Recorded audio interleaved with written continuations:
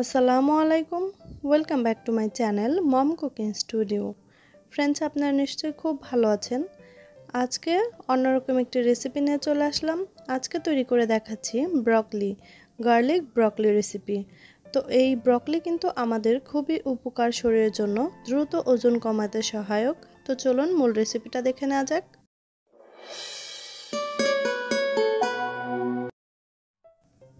Garlic broccoli তৈরি করার জন্য আমি একটি মাঝারি সাইজের ব্রকলিকে ভালোভাবে কেটে ধুয়ে নিয়েছি।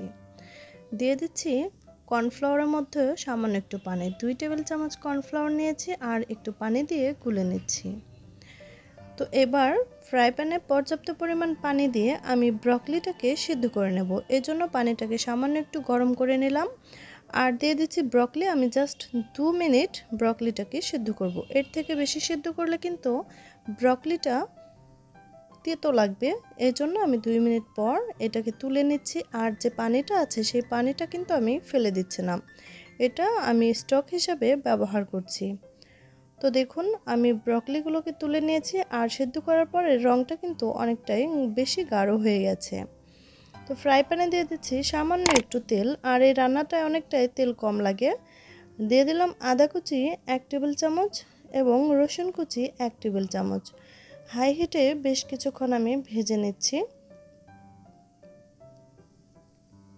তো এবার আমি এখানে ব্যবহার করে দিচ্ছি সেই ব্রকলির পানি বা স্টক।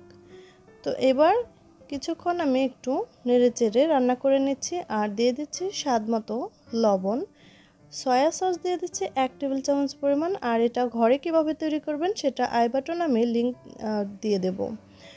তো এবার এখানে অ্যাড করে দিচ্ছি সেই কর্নফ্লাওয়ারের পানি আর দিয়ে দিচ্ছি এক চামচ চিনি। চিনিটা দিলে স্বাদটা বাড়বে, এজন্য আমি চিনিটা দিয়ে দিচ্ছি। ডায়াবেটিসের রোগী হলে আপনারা চিনিটা স্কিপ করতে পারেন। দিয়ে দিচ্ছি গোলমরিচ গুঁড়া এক চামচ পরিমাণ। এবার কিছুক্ষণ মশলাগুলো রান্না করে নিচ্ছি। আর এবার এক চামচ পরিমাণ লেবুর রস দিয়ে দিচ্ছি। খেতে অনেকটা ফ্লেভার ভালো লাগবে এই জন্য আমি লেবুর রসটা ব্যবহার করলাম। তো দিয়ে দিচ্ছি ব্রকলি আর এই রান্নাটা খুবই সহজ আর খুবই দ্রুত তৈরি হয়ে যায় রান্নাটা, আর খেতেও কিন্তু খুব ভালো লাগে।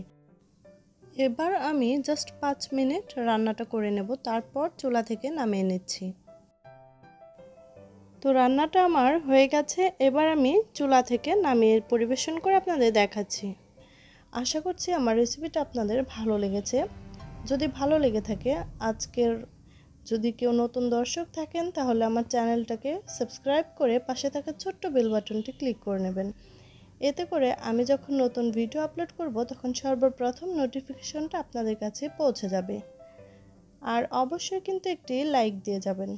আজকের মতো এখানে বিদায় নিচ্ছি। অন্য কোনো রেসিপি নিয়ে আবার আমি চলে আসব আপনাদের সামনে। সে পর্যন্ত আপনারা খুব ভালো থাকবেন আমার জন্য এবং আমার পরিবারের জন্য অবশ্যই দোয়া করবেন। আল্লাহ হাফেজ।